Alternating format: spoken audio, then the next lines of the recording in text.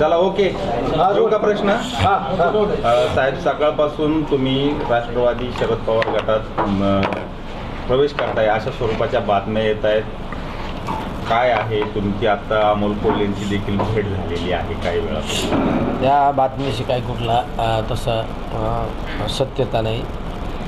कारण मला सुद्धा सकाळी मी बऱ्याच जणांचे फोन आले तेव्हा तुम्ही हा माझा आवाज पाहिला असं मी तो झोपेतून उठल्यानंतर मला कळालं. मी तर काही आपले काही सहकारी मला म्हणले तुम्ही व्हिडिओ कॉल करा. मीच म्हणलं त्यांना व्हिडिओ कॉल करू का मी नेमकं पुढे कारण मी जरा आजारी असल्यामुळे मला हॉस्पिटलमध्ये जा जाणं गरजेचं होतं. आणि नंतर मला गोळ्या डॉक्टरने घ्यायला सांगितलं गोळ्या घेण्यासाठी आम्ही त्या काहीतरी नाश्ता केला पाहिजे. मग इकडं तिकडं हॉटेलवर बसण्यापेक्षा गेस्ट हाऊसला वळालो. आणि ते नाश्ता त्या ठिकाणी थांबलो असताना आम्हाला नंतर अमोल कोल्हे पण त्या ठिकाणी भेटले.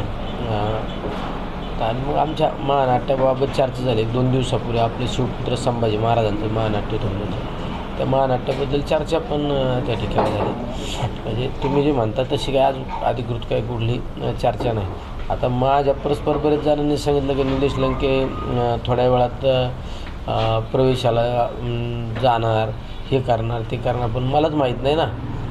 प्रवेश करणार थोडक्यात मी असणार आहे पण मला तर माहीत पाहिजे ना. आता मग नंतर मला कुणीतरी म, पवारसाहेबांची हे पण दाखवली. काहीतरी त्यांनी सांगितलं की या गोष्टीचं कुठलं तथ्य नाही वाटतं. नाही परंतु असं बोललं जातं की मोदी मोदी बागमध्ये पवार साहेबांची तुमची चर्चा झाली आज मिटिंग झाली त्यानंतर तुम्ही यांना भेटलं कोल्हेंना. असं काही नाही नाही नाही मोदी बागेचा आणि माझा काही संबंधच नाही. कोल्हेंची पण भेट झाली नव्हती काय चर्चा कोल्हेंचे आता महानाट्य आपण एवढं मोठं महानाट्य ठेवलं. आणि ते योगायोगाने ते तिथं मुक्कामी होते वाटतं. तिथं भेट झाली आमची गेस्ट हाऊसला नाही पण एकंदरीत लोकसभेच्या पार्श्वभूमीवरती ज्या प्रकारे चर्चा चालू आहे आणि अमोल कोल्हेंनी देखील तुम्हाला एक अ, लवकरात लवकर निर्णय घ्यावा असं आवाहन केलं होतं. तर त्या निर्णय अ, म्हणजे लवकरात लवकर घेतला जाईल?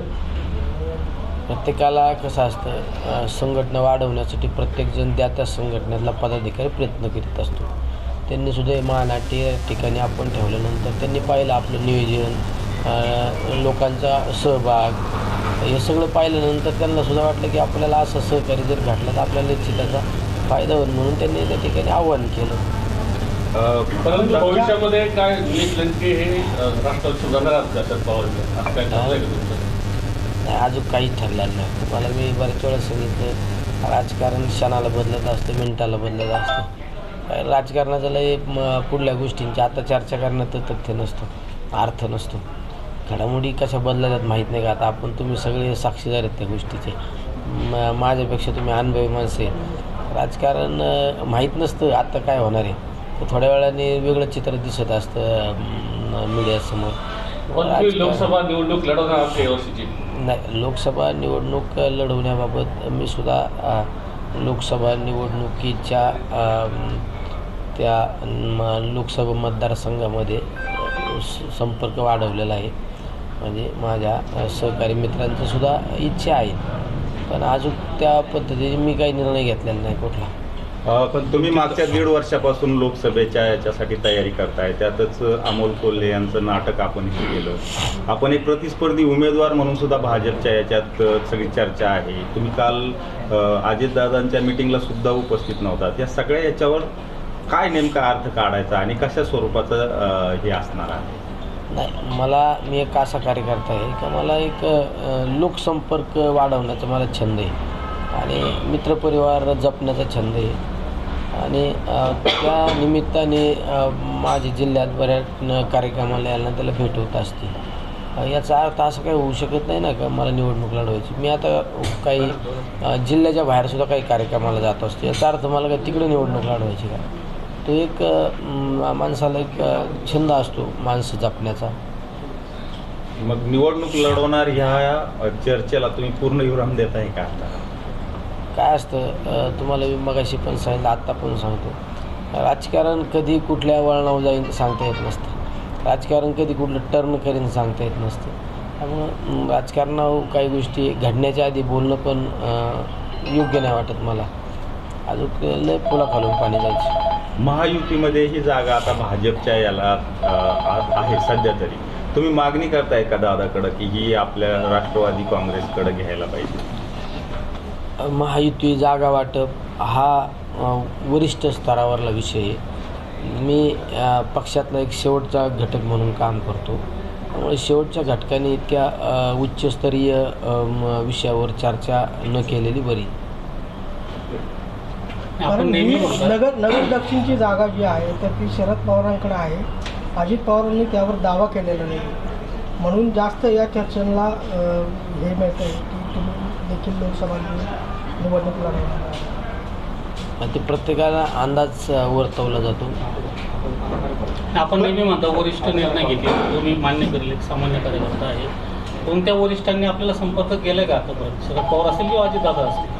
आतापर्यंत कोणी संपर्क केला काय प्रत्येक पक्षाचा वरिष्ठ नेता हा आपापल्या कार्यकर्त्याच्या नेहमी संपर्कात राहतो असतो.